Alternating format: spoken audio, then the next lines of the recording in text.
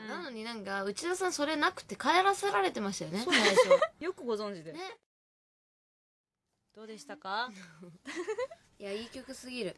これすごいピアニッシモっていうフレーズがな頭に残るよね。っていうかなんか、うんあのー私たちもそんななんだろうこのイヤホンで、はい。ヘッドホンで、うんちゃんと聞いても私初めてなんですけどそうだね完成やっぱさ最初の初期よりかはうんもう相当こうなんですか、アレンジされてて。そうだねおしゃれでしたよね。ね、超おしゃれ風になってる、はい。なんかミュージックビデオもおしゃれになってるって聞いて。てまだ完成品見てないんだけ私どでも昨今はね。はい、うん。握手会の会場でうん。の流れっていうのを見たんですけど、うんうん。あの一人一人今回はあの撮影したのが違うじゃないですか、うん。そうだね。はいあのなんていうんですかそのシチュエーションとかが違くてこじはるさんがプロデュースしてくださってるんですよ、うんうん。それであのだからみんなのを知らなかったのでうん。こんな感じでみんな撮ってたんだっていうのが見る側としても楽しかったですし、かなりおしゃれだったので。一人一人が映ってると。はい映ってます。おー。千田さんもかなりしっかり映ってます。よかったですね。そうなんですよ。ありがとうございます。よかったですね。私だってさ10位とかだよ。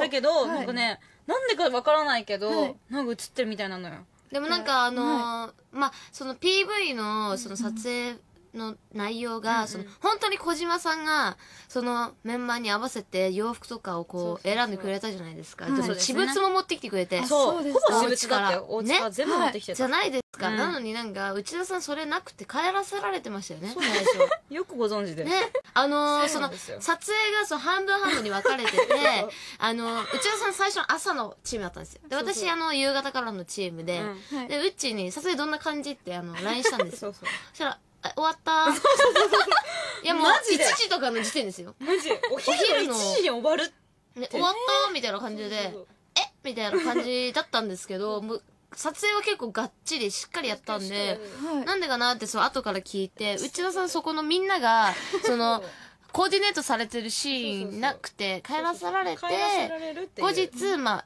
別。なんです撮りでねうん 別撮りで自分のねシーンがあったというもう一人の単体のシーンで。しっかりミュージックビデオ。しっかそれはもうなんなんでなんでしょうかね。なんでなんですかね。あのーあなんだろうね。それの理由も多分ミュージックビデオに映ってたんで。そうなの？はい。おぜひそこはしっかり。どうする？やばかったら。来どうし週よきっと皆さんのお手元に渡るはずなんで。厳しい理由だったらどうする？しいよどうしよう。